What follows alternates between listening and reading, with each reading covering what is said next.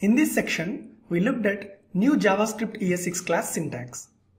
First, we looked at traditional way of creating objects in JavaScript using function constructor, which initializes state or data properties using arguments passed to it. Then we attached methods to its prototype to bind the data properties and methods together. Finally, we created objects from function constructor using new keyword.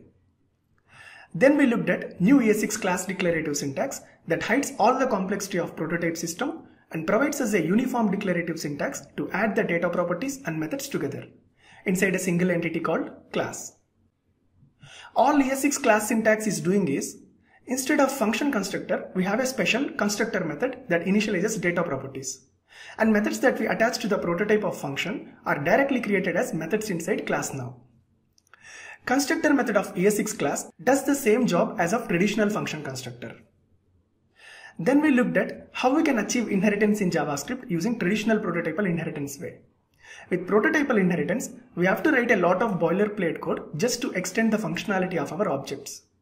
Even though prototypal inheritance provides us a good insight on how JavaScript works, it's a difficult thing to pick for beginners or programmers from other programming languages.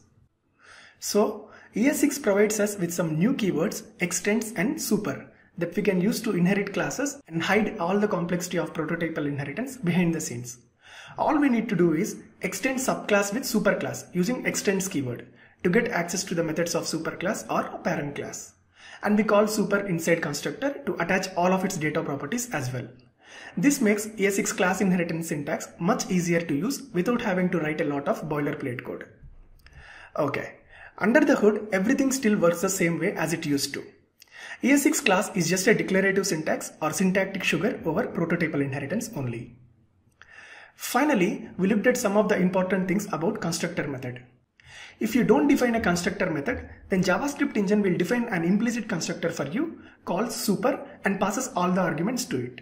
But if you define a constructor method on your own, then you need to make a call to super to set the execution context. Hence, you should call super before using this keyword inside the constructor. Then we looked at another special type of keyword, static, that allows us to attach properties directly to class. And those properties are not accessible through objects created from the class. Inside shows app, we used static keyword to initialize default props object and defined show index field inside it.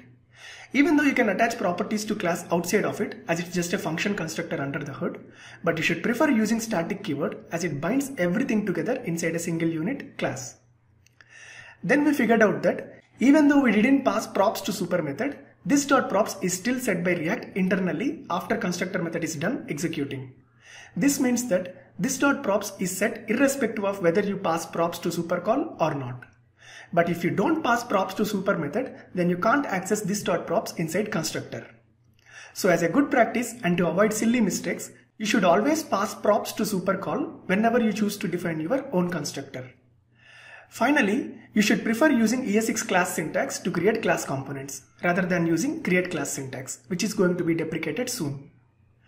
Alright, let's meet in our next section on understanding React by building pet game app.